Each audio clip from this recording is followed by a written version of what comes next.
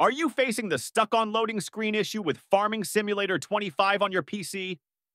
Here are some step by step solutions to help you get back into the game. Solution 1 Restart your PC or Steam first. Close out of the game if it's open.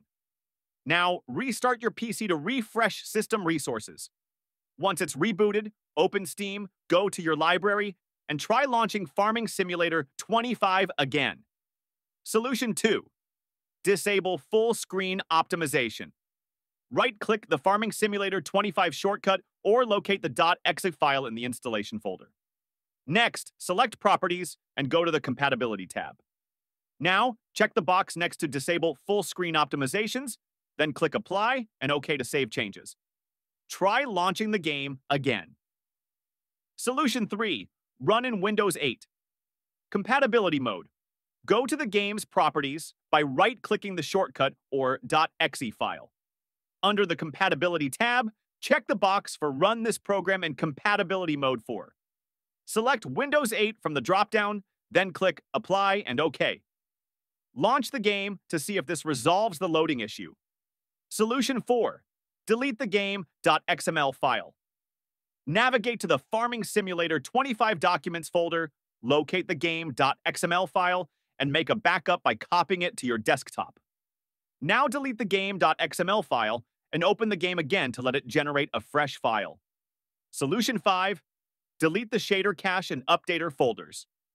Go to the Farming Simulator 25 Documents folder and find the shader cache and updater folders. Make a backup by copying both folders to your desktop, then delete the originals.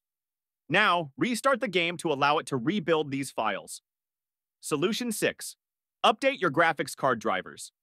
Check the brand of your graphics card, either NVIDIA, AMD, or Intel. Visit the official website for your GPU and download the latest drivers. After installing the updated driver, restart your PC and then try launching Farming Simulator 25.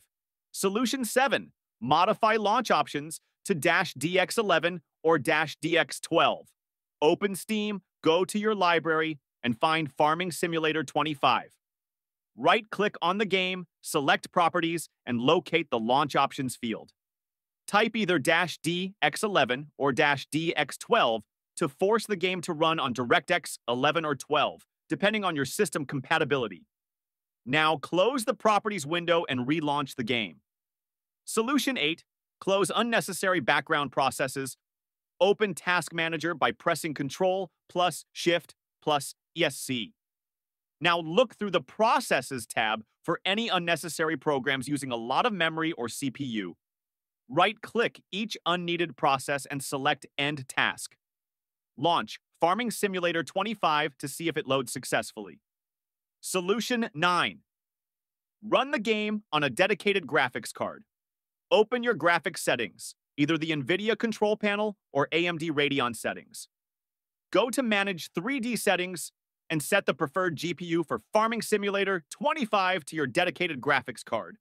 Apply the settings and restart the game.